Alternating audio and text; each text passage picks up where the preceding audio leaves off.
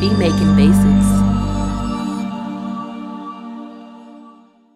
What's going on YouTube? Beat Making Basics back again with another dope video. If you're new to the channel, go ahead and subscribe because we're coming back to back with bangers. Today's video, I'm going to be showing you how to transpose any piece of audio in Logic Pro 10.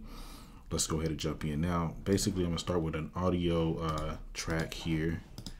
And what I'm going to do is we'll go to the Apple Loops and I'm just going to drag anything in here. So doesn't have to be, you know, let's just do this. Let's check it out.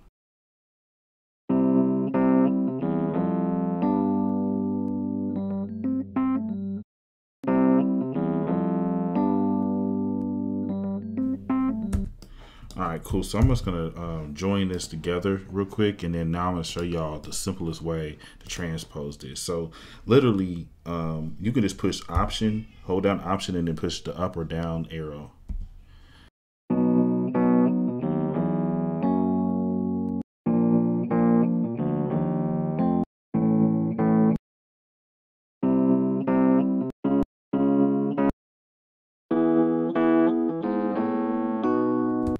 The cool thing is if you push shift, option, and up, takes push shift, option down, then it will pretty much transport uh, poses up and down an octave. Um, so that's pretty dope. It's a dope um, tip.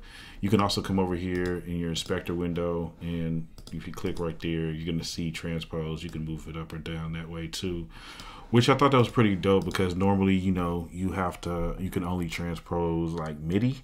So the fact that you can transpose, um, you know, your audio files, that's going to save a whole lot of time. So, so if you have a loop and you just want to drag it, drop it in, it's the same, you know, BPM, and you don't want to have to go to the step of putting in the uh, quick sampler. You can just come over here, drag it, drop it in, um, and literally just hold down Option you have to click on the track and then push it down and up or down.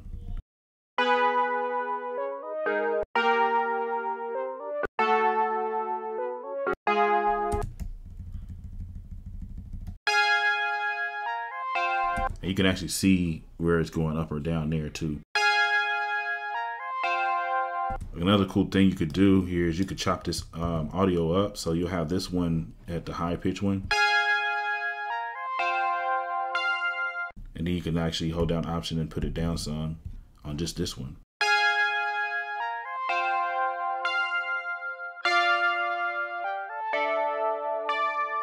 Saves a whole lot of time when it comes to chopping up things. Make sure you go ahead and head over to my site, beatmakingBasics.com. Grab yourself a course, a kit, or a template, or grab everything that's on there. We have an everything bundle there as well.